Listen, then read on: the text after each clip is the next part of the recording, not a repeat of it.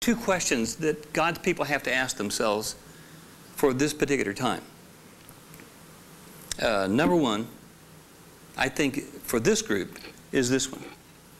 Do you really want to be excellent in a mediocre world? If so, uh, you can't just do the same things the world is doing, measured by the same degree of success that the world is looking for, and call yourself a Christian. Can't be done. God's way is not an alternative way. It is the way. I don't know that God's people in our generation truly understand that. Let me back up a little bit and tell you, I was not a Christian until I was 32 years old. I came out of a non-Christian family in a kind of a Christian era. I went to public high school, and the average public high school, I think, when I graduated in 1958, was probably as Christian as the average Christian school today.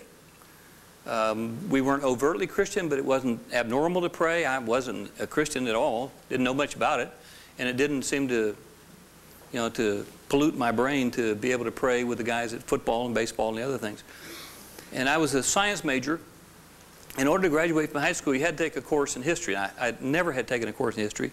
Had absolutely no interest in taking a course in history, and uh, I ended up in my senior year, the last semester, uh, the last possible time, taking a course in world history. And in that course, we studied the rise and fall of the Roman Empire. And I, forevermore, from that point on, got hooked on history. As I read through that book and, and we debated various things, I know the thing that was most important in my mind, paramount in my mind all the way through there, how could those Romans have been so stupid? How could they? I mean, they had the best country in the world.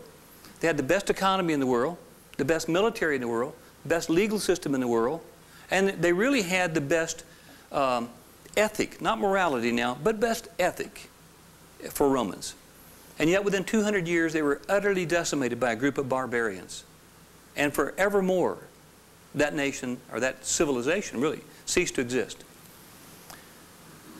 As a Christian now for the better part of 32 years, I look at where we are and think, how could we be so stupid? We're the best nation in the world, the best economy in the world, the best military in the world, the best legal system in the world, founded upon the premise that Jesus Christ is Lord of all, and we are losing it. We're giving it away. We're, we're standing by while a handful of devout people who are the antithesis of what we believe in are taking it away from us. We outnumber, if you label them, let's label them liberals, you have to label them something. Let's label them liberal. They really aren't liberals. A liberal means you believe in in everybody having the same opportunity as everybody else. That's the opposite of what liberals are, but label them liberals. By any count that you want to use, we outnumber them 10,000 to 1 and probably 100,000 to 1. The thing that they have that we lack is absolute dedication to the cause they believe in. We say that we have dedication to the cause we believe in, but we do not demonstrate it. And I'll show you that as we get through here a little bit. Um, I'm, I'm going to try.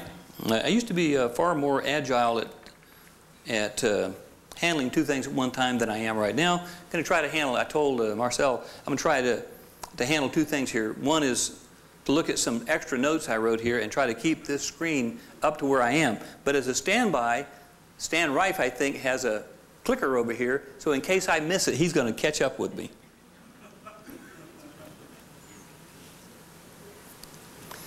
The question you have to ask yourself, the fundamental question, first as business people, you have to ask yourself, are you willing to be excellent in a world that's really just mediocre? I don't mean just excellent in the way that you handle a product or make a profit, but excellent. Because the standard by which God will judge your excellent, excellence will not be how much money you have accumulated, how big a business you have, and how many products you're able to produce and sell. That is the way the world measures it. But you'll see as we get through here, that is not the way God measures excellence at all. Second question that every believer has to ask themselves is do you believe? Uh, I was talking to uh, Horst Schulze today, and we've had a very similar experience. So I, I know he understands where I'm coming from. Uh, seven and a half, a little bit more than seven and a half years ago, uh, out of kind of a clear blue sky, I always assumed being a Burkett, I would die of a heart attack because that's been the tradition in my family for as far back as anybody can remember. In my father's generation, none of that generation of men lived beyond 58 years old. My father was the oldest one of six brothers who died at 58, all from a heart attack. And I used to think, you know, it's really rotten being saddled with bad genes. Uh, if you want good health, the one thing I would assure you, the best thing you can do for yourself is pick your parents real carefully. That's the best way you can have good health. And uh, my, parent, my parents passed along bad uh, artery genes to me. But I always thought, well, we get, can we get heart attacks maybe, but we never have cancer. Nobody in my family ever had cancer. Uh, that is not a guarantee. We, they just never lived long enough, most of them, to get cancer, I'm convinced. Because I took up golf at 55 years old because all of my brothers played golf. I didn't, never thought I would take up golf. Number one, it, I thought it was boring. I thought it took too long and it cost too much money. But my brothers and I started having family reunions again for the first time in 25 years, and they all played golf, so they would all go off without me, and I decided I was going to learn to play golf. And from the time I swung a club, my left shoulder hurt so bad that within about a month or so, I couldn't lift my arm. I realized something was wrong and went to orthopedist after orthopedist trying to find out what the problem was, and was uh, misdiagnosed most of the time, being rotator cuff or bursitis or arthritis. To find out it wasn't that, it was cancer. It has started in my right kidney and metastasized up to the left shoulder. In, in case you're not aware, metastatic renal cell carcinoma. You know, I've really gotten, gotten to know medical terms because if you want to talk to doctors, you have to talk in medical terms. When I want to talk to somebody that I think's got a great treatment I want to evaluate, I call their assistant, either their nurse or more likely their, their uh, personal assistant, and I'll say to them, this is Dr. Burkett. I'd like to talk to uh, Dr. Smith about uh, a metastatic renal cell carcinoma patient. And they'll all talk to me. They never ask me, what kind of a doctorate do you have? all, they, all they care about is you can talk the language. If you talk the language, they, they think you know what you're talking about. Well, I had metastatic renal cell carcinoma. I, I, I learned shortly after that, my doctor's a neat guy, the guy, the urologist that I use, really neat guy, Christian guy, um, very honest, and I like that. He said, I have to tell you the truth, you've got very little chance of survival. The average rate of survival with your cancer over a two-year period of time is one half of 1%. That's how many people will survive. There were 73 of us diagnosed at Emory in 1995, uh, 72 of whom died within two years. And here I am almost eight years out, so you know, you never know. But the one thing it has done for me is made me have a much greater appreciation, number one, for who God is and what God expects of us.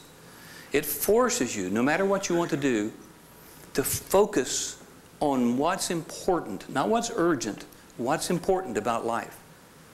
Because life is really short. Most of us don't think about it until we're facing it. But life is really short. Death comes very quickly to us. And we don't live here. And if you think you do live here, it's a real disappointment to have death come that quickly. We live in eternity, where we are in the whole lifetime. If I live to be 100 years here, it's a blip so small you can't even see it on the eternity line. It's just a little blip. Where we're going to live is eternity forever and ever and ever with the Lord Jesus Christ. What we're doing now is setting the stage for who we will be and what we will be and how effective we will be throughout eternity.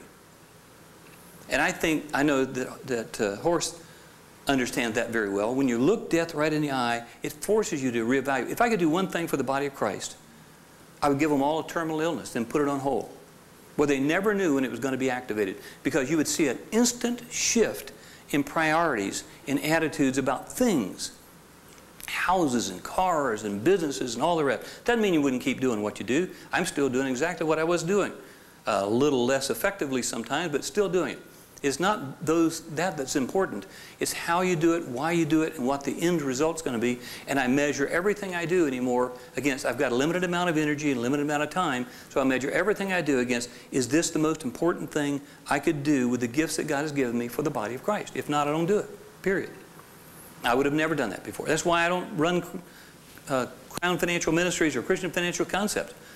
My energy and ability could be far better used with the gifts that God has given me, and one of them is not the gift of administration, that's for sure. As anybody who's around me knows. I hate meetings. I never did like meetings, as a matter of fact. You know, there's two words for believe in the scripture.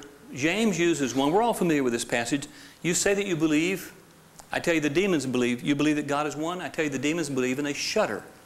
It does them no good. The word that James used there is a unique Greek word. There are actually four Greek words for believe, but the word that he used here means you intellectually assent. You